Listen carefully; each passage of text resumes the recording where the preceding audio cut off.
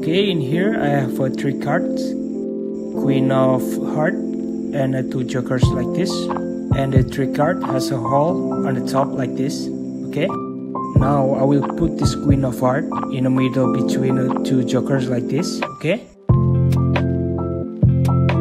And then I will put the rubber band in the card hole. Slide in like this and I will tie it in tightly like this okay? And just like this okay? Now you can hold the rubber band. And this is strong enough right? Okay so now I will try to pull the queen of heart in the middle through the tight rubber band okay? Just like this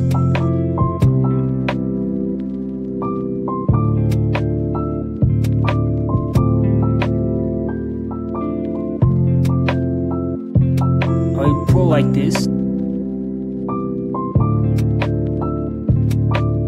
You can see the queen is totally escaped from rubber band.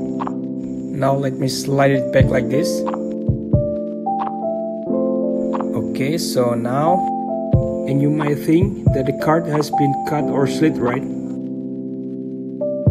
I will show you. All the card is really don't have a slit or cut check it out. You can check all the three cards the queens and also the less jokers.